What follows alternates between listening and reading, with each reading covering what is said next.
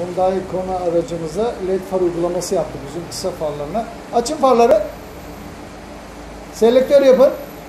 Evet. Kısalarda kalsın. Bu aracımızdaki kısa farlar mercekli olduğu için bunlara biz power led, e, çift- çekirdek led kullanıyoruz. E, bazı konularda tek e, far ampulü uzun ve kısa yapar. Bu araçta uzun ayrı, kısa ayrı. Selektör yapın. Evet. Uzunlar hemen yan farda.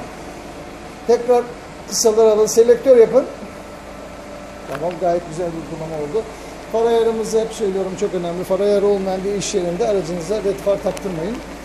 E, far ayarından bakıyorum yukarısı karanlık aşağısı aydınlık. İnsanların gözünü almaması lazım ve e, sizin önünüzü iyi aydınlatması lazım. Yapın selektör.